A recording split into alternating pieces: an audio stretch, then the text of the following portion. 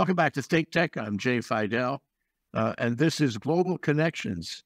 And going to talk about it, uh, the war against Ukraine. is actually the invasion against Ukraine. An update, an update on what is going on there with Carl Baker, a senior advisor for Pacific Forum. Welcome to the show, Carl. Nice to have you. Yeah, good to be back, Jay. It's been a while since we've brought up this subject. Uh, unfortunately, it's still a subject that, that uh, doesn't seem to be Well, let me give you, you know, sort of um, an immediate reaction on the whole topic is that the U.S., for its own political uh, reasons, uh, is not giving weapons or money to Ukraine. Um, the EU, uh, thanks to Viktor Orban, is, is, kind of stuck about giving money and weapons to Ukraine. And um, Ukraine is having trouble, um, you know, uh, recruiting soldiers, and it's having trouble in terms of the morale of the soldiers.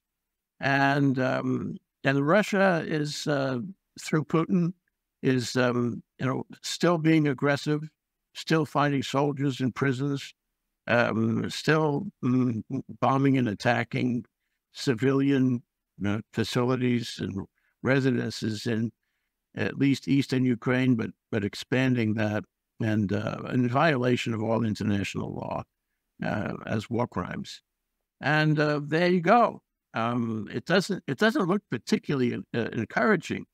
Um, how much of that is right and how much of it is wrong? Yeah, it's a good question, but I'm afraid it's mostly right.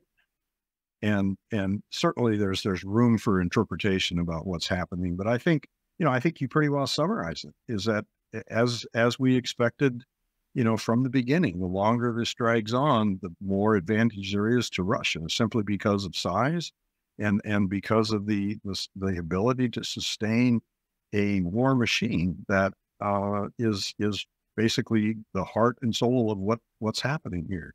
And you know, it's more and more difficult for Ukraine as it continues to depend on the West, which is a fairly fickle uh, society when it comes to sustaining a war effort. Where, as you said, Putin has certainly solidified his position within Russia, and he certainly has been able to sustain the Russian economy in the context of uh, selling oil to India and uh, in China, and and maintaining uh, some level of relationship with with the Middle East and and uh, the rest of the global South. So I think you know certainly it is advantage Russia at this point, and it's uh, it, it's not looking real good in terms of uh, how much longer the United States is going to be willing to support Zelensky as uh, as as a as a hardline uh, position of Russia must be defeated. Hmm. What's the effect? Let's assume just this discussion. I hate to make this assumption, but let's assume that Ukraine is lost. Um, you know, either the Donbass or or more. Yeah, and, and then Ukraine, you know, could collapse here. You know, the Zelensky government could collapse, and then all of Ukraine collapses. So let's assume for this discussion anyway that that Ukraine cannot prevail, does not prevail, and the Ukrainian government is gone. What happens?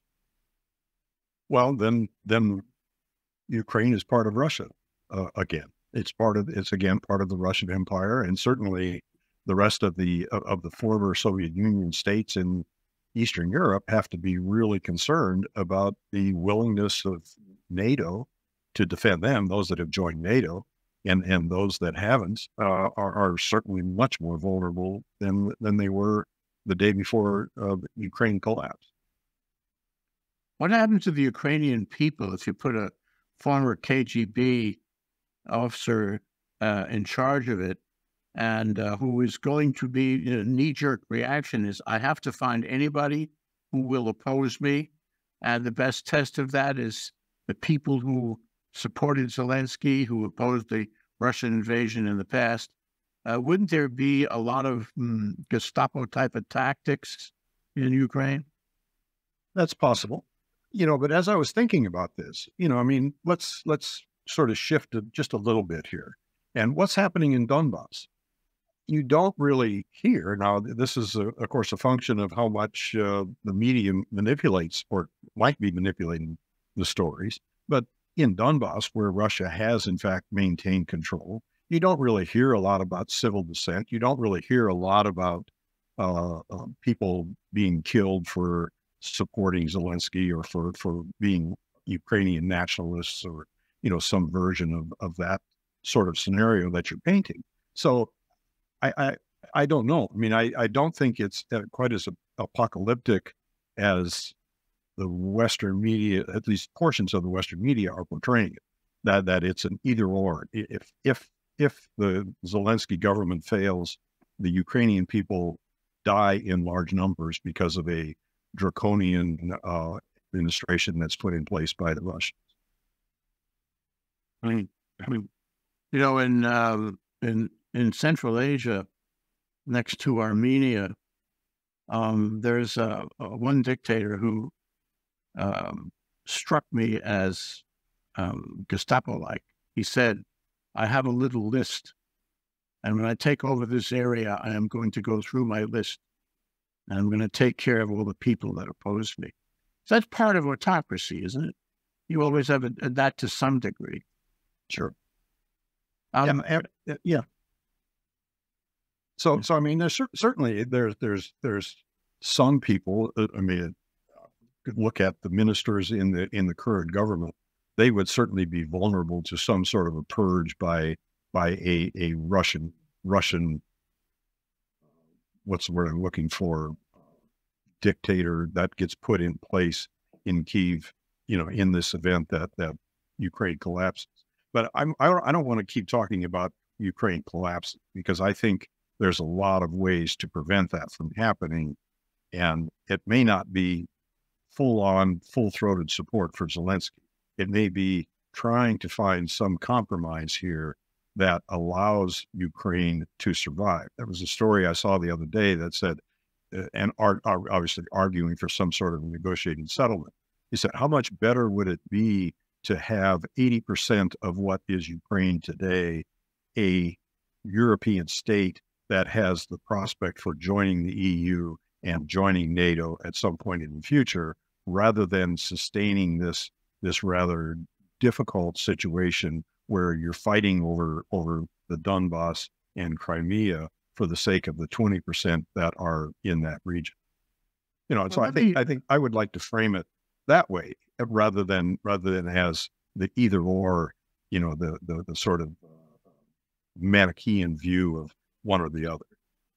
Um, let me add some fuel to that fire, though, and point out that um, you know uh, not only has has Putin taken steps to insinuate power, his power, into other countries, uh, and Belarus is is a, is a prime example, but you know there are four or five others, uh, all the way to Romania, uh, where he has um, you know put his agents in, done um, done uh, misinformation of the media, social media especially, where he has fomented unrest, if not chaos, um, and where he has signaled directly or indirectly that he wants that country and he wants to turn them in favor of Russia without firing a shot. Mm-hmm. And he, you know, that's been clearly the case in a number of those countries uh, which uh, would would be next on the list, so to speak. Mm-hmm. Wouldn't you be concerned uh, that if a deal is made, if um, Ukraine goes soft in some way, that those countries would be next? I mean, if he's going to resurrect, um, you know, either the monarchy or or the USSR, uh, he's going to be after them next. It's all Eastern Europe at risk. Huh? Well, yeah, I mean, I, I accept that that that is a risk, but I, what I'm suggesting is that to mitigate that, what is what is the best way to mitigate that risk? Is is is to to continue to fight for the the the piece of Ukraine that's east of the Donbass, or is it to actually you know develop some resilience in those in those regions that you can control, that you're not fighting a, a ground war against against a Russian military that almost by its nature is always going to be superior because you have a bigger population, you have a bigger industrial base, you have you have an economy that that has maintained its integration into the into the global economy? You know, or you know, do you continue to to put all your marbles in the Zelensky objective of returning all the territory that was at one point Ukraine? Yeah. Well, and I, I mean, I think that that's, nothing. Yeah, yeah. I think I think that's really the dilemma that I see, and and that's why I'm of the of the mind that you know I think we need to start being a little more realistic about what are our objectives. You know, and that of course is is what's coming out of you know the the, the, the debate, the the funding debate in the United States is is what exactly is our objective here? Yeah, that or that because what happens here has a huge, if not just positive effect on what happens there. And but the same, you know, the same analysis, what happens in the EU uh, and Western Europe um, also has this positive effect. And I'm reminded, and I want to come to American, the American political situation in a minute, but um, Viktor Orban, who was uh, Putin's friend, um, and an autocrat all by himself, done a really good job of becoming an autocrat uh, vetoed a, a, move by the EU to give X billions of dollars to Ukraine. Mm-hmm. And I get two reactions on that. The first reaction is, uh, you know, it's so predictable, but it, it re- reflects a, a, lack of um, unity among the countries in the EU. It's, a, it's a moral choice, and and he is predictably going to oppose a moral choice. The other aspect of it is uh, if Russia, if um, Germany and France and others uh, feel so strongly about it, why don't they just write a check? Why did they need Viktor Orban to write a check? I'm not sure they did that. Your thoughts? Yeah, no, I agree that that that it certainly is is the case that that there is there's not consensus consensus in the European Union, and the European Union, of course, is an economic focused organization. It's not it's not a security focused organization. So you know, yeah, I mean, Germany and, and France, they, they have the capacity to provide military assistance. The UK does, you know, so there's, there's European countries that can, can fill that security assistance role. The, the, the real, the real issue though, is to what end? Are, you know, are you going to go back and, and, and, you know, try to, try to take the Surovikin line? You know, are you try, are you going to try to sever that bridge between Crimea and, and, and the, Russia? you know what what are your military objectives? Uh, let's let's let's deal with that first because i think that that's what's becoming the important problem here. The money the, the money problem is is almost secondary at this point because right now what's what's happening is you you're you're stuck in a military stalemate. Now there's some who say oh it's not a stalemate. There's it's just going to take another two years before we get the ukrainian military up to the capacity to actually execute its counteroffensive. You know, well, boy, those are a long two years, you know, and, and so, you know, so it becomes more and more difficult to see how do you get past this military conflict? And, and when you start talking about the, the, the EU, really the EU is about the economic support, but, but Ukraine's problem right now is not economic support. It's, it's really about me being able to maintain some sort of security apparatus. What about technology? You know, technology is a moving target. Um, and uh, I keep thinking of um, uh, the use of AI. Israel is, is uh, reportedly using AI in dealing with the fight in Gaza. Um, and uh, uh, for that matter, Israel also has uh, at least um, experimental laser equipment that will, you know, burn something out of the sky, cheap it's not as expensive as a missile. It's just a beam of, of light. Uh, and so, you know, anything could happen on technology. And, you know, the world is always interested in technology. And, and the stakes are high when, you know, the technology can be weaponized. And I'm I'm wondering uh, if that, that might happen within, you know, less time than two years, uh, which would change the focus of all of this. What do you think?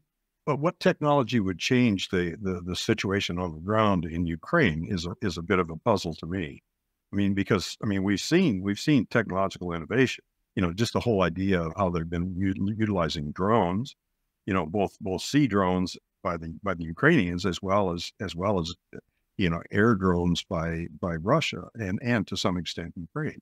You know, so so those kinds of technology uh, advances are there, but I don't I don't really see how how some technological advance in the next two years is going to change the security situation in the territory that we call Ukraine today. Uh, you know, I mean, there's there's just some some facts that are are there that that aren't going away, and and one is that it's going to be very difficult for Ukraine to to penetrate that defensive line, the the Surovikin line that's been created to to maintain that land bridge between Russia and and Crimea. So if that's your objective, if your objective is to is to take back all that territory, that's a problem that you have to deal with. And I don't see a technological solution to that. Next, if you look at, you know, the the uh, the, the, the whole idea of of uh, long range attacks on Russian territory, you know, you, you've you've seen uh, Ukraine trying to attack uh, Russian cities, Belgorod on the on the on the border, and and then in response, you know, the Russians have been attacking as far away as Lviv. You know, I don't see how the technology you, you maybe have hypersonics or something that might be able to to penetrate the air defenses better than than what you have now. But again, that's not that's a technological advance that that could affect you know specific battles. But I don't see it again affecting the the broader security situation on the ground where you you ultimately have a, a ground offensive stalemate. And stalemate, that's the operative word. The stalemate means that both sides are in stalemate. It, it assumes that. And so, um, and both sides are in a, in a war of attrition, I think. I mean, I don't think um, Putin is really gaining, um, you know, beyond the attrition. Uh, and certainly Ukraine is, is experiencing the attrition in many ways, uh, in, in terms of soldiers and in terms of supplies and in terms of the uh, the, the, morale of the army and the people. Um, it's it's just very hard on them. The country has been largely, you know, uh, damaged already, um, and they're not getting the kind of support they want. It must be very hard on the individual Ukrainian. Yeah. So I, so and Zelensky. So my question is: Are they are they both ready to deal? Are they both ready to reach an agreement? Well, I, I, think I think the the Ukrainians are certainly more ready. Uh, I, I, think uh, I, I, think the Russians. I think Putin is is ready, but there's some assumptions there, and and that is that he is going to gain territory. I mean, I think it, on based on that, I think that's where Russia is ready. That that he does he does get his win in the sense that he basically maintains the territorial conquests in the Donbass and and Crimea. And I think that that and then that's the, that's the unpalatable unpalatable part to to Zelensky and a lot of people in the West who say this sets the bad precedent. And then and then we get the narrative that you provided recent just just a few minutes ago about well then what's next in in Romania and and all the other Eastern European countries. Uh, this is, this reminds me of, uh, of Israel because if I were um, at that table trying to make a deal representing Ukraine, I would say, what what assurance do we have um, that you won't do this again? Mm-hmm. Um, because you know there are many indications that you will do it again to us and to others. Um, and I suppose um, part of that could be, and this would depend on third party agreement, uh, that that uh, the remaining part of Ukraine becomes a part of the EU, that it is an even part of NATO. Hmm. But that that depends on the members of the EU, including Viktor Orban, uh, and um, NATO, which may or may not be agreeable. Uh. Turkey, for example, may not be agreeable. Um, so clearly, uh, I mean, what assurances could Russia give or could Ukraine demand that it won't happen again? And could could that demand include these points? Yes, it could. I mean, those are the those are the two obvious points. Now, of course, how those are become enforceable is a, is a fair question because obviously it's going to be very difficult to to provide that guarantee without without some sort of force on the ground. So, but I think you know, I think the way that would have to work is that there would have to be the implicit understanding that Ukraine then is offered the deterrent effect of becoming part of NATO. You know, and, and so it, it's not it's not necessarily explicit in the agreement itself, but it's implicit in the sense that it is now covered under Article Five by by joining NATO. And I think that that would be that would be the part that would be the enforceability aspect of that of that kind of agreement. Don't you wonder about it? Wouldn't be direct; it would be an indirect sort. So, don't you wonder about Article Five these days? You know, everybody refers to Article Five. You attack me, I attack them, whatnot. Um, but you know, um, a lot of time has gone by since Article Five was originally written down, and I and you have to wonder whether Article Five would actually, in fact, come into play. I mean, whether the members of NATO would really respect it. Your thoughts? Oh, yeah. I mean, if you think about a small town in Latvia, somewhere close to the Russian border, uh, are we really prepared to to uh, fulfill our obligation in Article Five? Well, maybe this is just a little bit of a bad example. you know, yeah. I mean, the red lines are always are always dangerous, aren't they?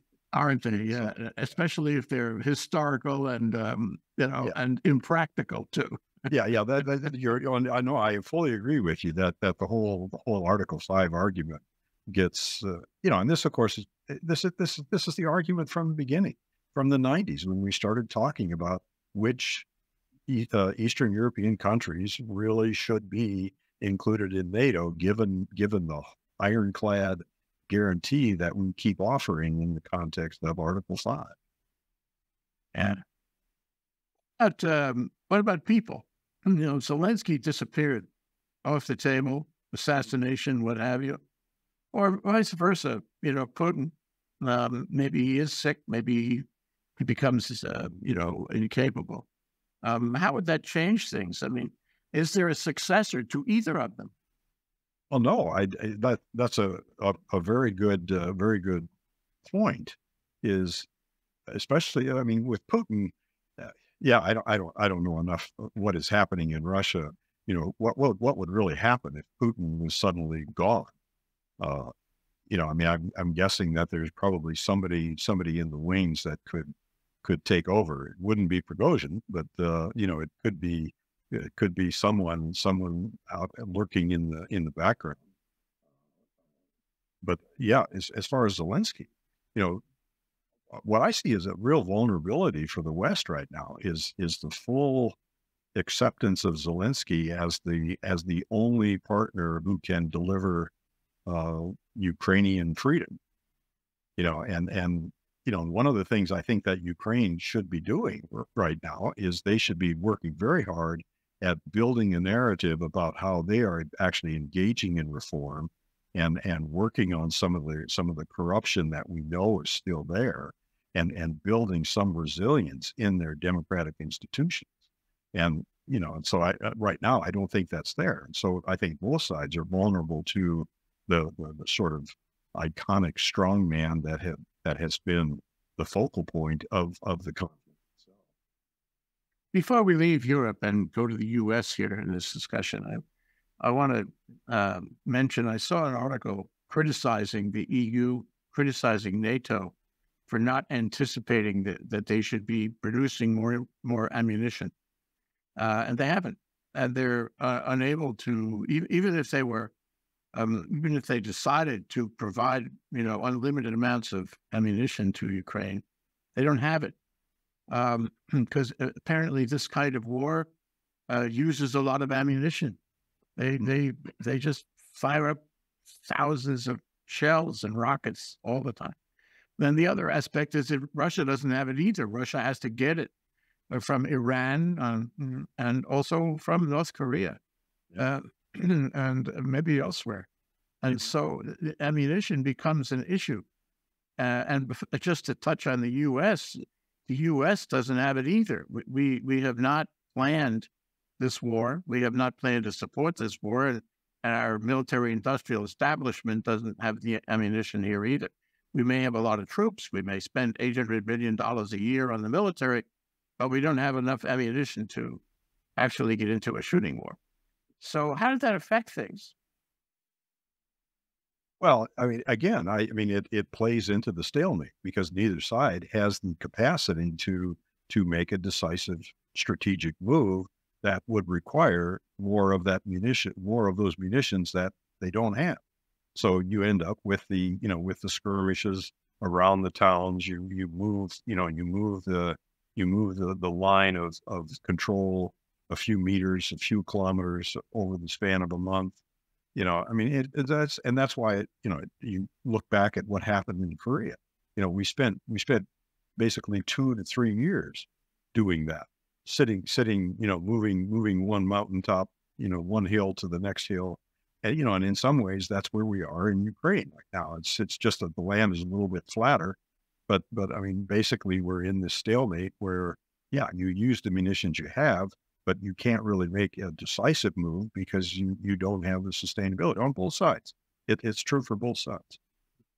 Okay, let's move moving to the United States, which is probably the most interesting part of our discussion because the United what the United States does or doesn't do will have a, a, a profound effect on how this plays out.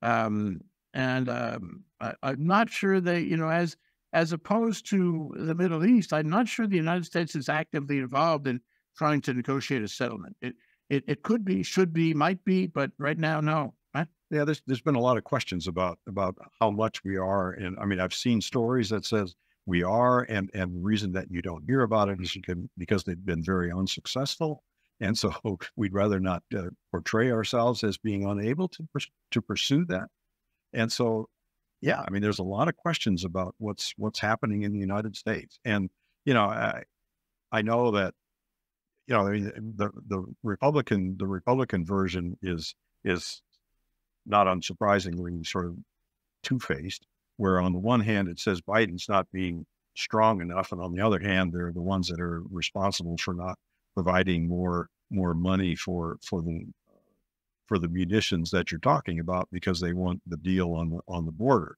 You know, so so I think that there's a lot of uncertainty in the United States. And again, I'll, I'll go back and say, you know, I think that we have really sort of hitched ourselves to Zelensky's uh, maximal demands, and it's going to become more and more difficult for us to to move away from those those demands as we begin to realize that this is a stalemate and stalemates don't play to Ukraine's favor. This hurting Biden. I mean, everything that happens in all of these 10 months now to follow before the election, everything he does or doesn't do is going to have, you know, it's going to present a target for the Republicans, but it's also, you know, objectively going to have an effect on public opinion and thus the vote. Um, so, query, um, is this helping him? But my my thought is maybe not. No, I don't think it is. You know, like you said, I mean, the, the Republicans uh, they they can attack on on several different fronts, and they have. You know, I mean, you, you can't be strong enough, and yet you're you're not. We're not going to give you the money because you're not compromising with us on something else. And so, you know, so he's completely vulnerable to the opposition, which is understandable, but also to the broader general uh, public opinion. You know, it's it's the it's the the great fear that we had from the beginning about the weariness of the United States, feeling like they're the ones who are having to defend Ukraine. Europe isn't providing enough. You know, it's all that same rhetoric and all that same narrative that's coming back to us again.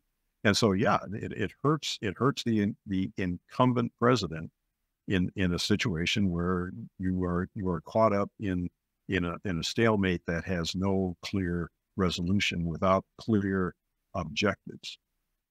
Yeah, the background is, as you say, uh, when Trump was speaking to this issue, he was saying, "Let's let's be isolationists. Let's stop funding NATO. Uh, let's stop funding the war, and it, this be realized." I mean, I think Trump or Trump's thinking has uh, a huge effect on Mike Johnson and and the Democrats uh, in the House and so forth. but you know, you uh, uh, you you wonder if that's a, a good idea for the United States because uh, we, we will be affected by the result. And um, the isolationism that that Trump uh, was was you know was selling back at the beginning of his term um, and later during his term. And and now indirectly, Trump is controlling, I think, the Republican policy on this. Uh, this is his position. We see expressed through Mike Johnson. Um, you know that, um, and, and then his statement, Trump's statement is, you know, you, you, you know, you, you, you elect me, and I will stop this war immediately. Yeah, right. With with a, you know, a golden a golden platter to uh, Vladimir Putin, he'll stop it all right. Um, but I think people buy that because they don't want troops, our troops, to be on the ground. They don't want us to spend our mm, international capital, you know, and um, and be the world's policeman. Well, yeah, I think that's true. Although, you know, I, I think you're giving credit a little too much credit for to Trump for having thoughts and ideas. Uh, Thank you. Uh, I, am not sure that I'm quite willing to to buy that. I mean, it, uh, you know, in some ways, you know, the Republicans have been fairly fairly nihilistic about this whole thing. I think where where, like I said, they, they, they argue they argue two ways. You're not being strong enough, and I think I think Trump's uh, response would probably be, "I'll I'll eliminate it because I'll they'll be afraid of me because I'm, I'm I will present this this great strong America that everyone will fear, and so people will drop their guns and uh, come and be be uh, beholden to me because I'm I'm powerful powerful figure that I am, you know. And and then you have the other side that says, well, we want to get something out of you guys for the border, so we're we're not going to provide funding, you know. So I mean, there's real that's really two different different approaches. Uh, and and then and then you're right. And Then there's the third approach that says, well, as long as you're doing it, we don't want to support American adventurers. Yeah, well, it's interesting that what's happening in the border is similar in its own way. It's a, it's a mirror image of what's happening, um, you know, in Ukraine. What I mean is, uh, and this goes to Joe Biden's statement the other day: is you you want me to do something at the border, but you won't give me any money to do it. I do have a policy, I do have a plan, but you're blocking that, and then you're blaming for not blaming me for not doing anything. Um, this is not the way to shape American policy. Um, and I and I wonder your thoughts about the notion of hitching the Ukraine wagon to the border issue. Uh, it sounds to me as disingenuous at the least. Well, I mean that's that's part of the reason why I use the word nihilistic because oh, there's no connection. There's there's literally no connection between those two. It's it's really just a matter of of taking taking a problem that you have and saying, well, we have a problem and we want you to solve that problem first. Uh, you know, I mean, there's no, there's no, there, there's no connection. It's, it, it's, it's, it's completely nihilistic to, to, to try to connect those two uh, or to connect it to, to, I mean, in some ways to, to Israel, you know, I mean, to, to try to connect the three is uh, there's, there's no, there's no rational basis for doing it. This is something new in American foreign policy, if you will. Uh, in other words, you yeah. you hitch a um, a domestic issue to a foreign policy issue, uh, and you and you force the other side to uh, have to consider that before you do what is obviously the right thing on foreign policy. Am I right? Yeah. What has yeah, happened before?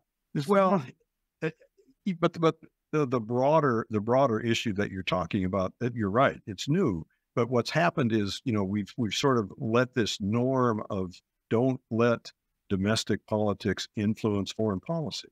You know, that was very much a strong norm. And remember, early in the Trump er, first Trump administration, people were talking about this. We said this is a very dangerous way we're moving here, where we're connecting domestic politics with foreign policy.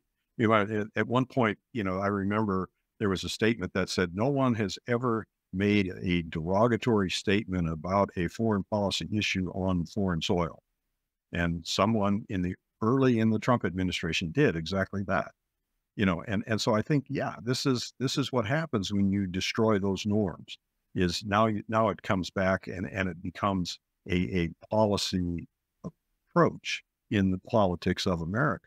And that's why we don't we shouldn't have done that. And yeah, now you see the unprecedented eh, situation where you do have a, a, a, a domestic issue or, or a, foreign policy issue being held hostage to a domestic hostage. It's a world of hostages these days. And it's also a world of stalemate. You know, in this conversation, it seems to me we have stalemate between Russia and Ukraine. We have stalemate in Congress. Um, we have stalemate on the border issue. Um, everything is stalemate, everything. And you, you can't run a railroad that way or a country, I think. Um, so that's you, why I'm asking. Run, you can run two echo chambers that way. yeah, I mean, and that's stalemate. Yeah, yeah, and, and and it just exacerbates the stalemate. so my my final question to you is from a foreign policy point of view, uh, an American policy point of view, a global world order, and a, a liberal global world order point of view. What in, in a perfect world, without holding issues domestic issues hostage for international foreign policy. What is the proper foreign policy on on Ukraine? What should the United States do? Yeah, I'm, I'm going to go back and say it again. The United States should be thinking about how to develop a solution to the problem that allows Ukraine to maintain some level of independence a sovereign state that is associated with Western democracy and Western institutions through the European Union, through NATO, the security and economic institutions of Europe that that provides some resilience in Central Europe to to support the, the global international order that the United States desires to ensure that we don't lose other countries to Russian adventures. And we, we maintain a, a status in Ukraine that demonstrates the value of aligning with the European countries and showing that there are benefits associated with that, that global liberal order. And the way we do that is we build a, a, a, a agreement, a, a resolution to the conflict that does support a an independent uh, Ukraine that that isolates Russians Russians gains because there's going to be there's going to be Russian gains at this point, short of of annihilating Russia, and I don't see that happening. So I think that the the, the realistic foreign policy goal should be to salvage what we can in Ukraine and then work to build that resilience by demonstrating the value of maintaining a relationship to mm. in, in I, very broad in very broad terms and and that has to do with how we do the reconstruction. It has to do with how we how we allow ukraine to integrate into the western economy. You haven't mentioned the united nations and i think that's for a good reason. And we, we just let that one hang in the air. There's nothing the united nations can do with the security council formed up the way it is. No, that's a whole separate that's a whole separate foreign policy issue that the United States can can tackle once it's done with more existential problems. But you know, clearly, clearly, what we need is we need serious attention to reform of the of the United Nations and specifically the Security Council. And last question, you, you, in terms of American policy to Ukraine, uh, in the interim, while we're working to the goals you described, what about sending them money? What about if you had the perfect world? What about sending them money? What about sending sending them arms, which we which Joe Biden wants to do? Would you do that? Sure. Yeah, I mean, you have you you can't you can't just cut off funding and say no, settle settle you know settle for peace or settle for for some compromise. There has to be there has to be some demonstration that Ukraine can sustain the stalemate. I mean, I think that's the concern. That's the immediate concern I would have is that Russia believes that it it can prevail in the stalemate, and that's you can't you can't let that happen. You have to you have to provide some level of support to Ukraine to allow them to to sustain stalemate and to convince Russia that it really is in Russia's interest to to settle and accept the fact that there's going to be compromises in that settlement that include a very close alignment of Ukraine with with European uh, interests. I mean, wow, so many issues. Carl Baker, Senior Advisor, Pacific Forum, thank you so much for this discussion and your thoughts on so many issues. Appreciate it. Thanks. Aloha.